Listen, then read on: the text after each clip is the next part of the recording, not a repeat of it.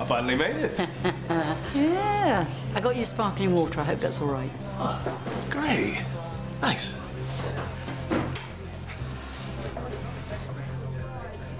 If you want something different, I'm sure we've got time for a second drink.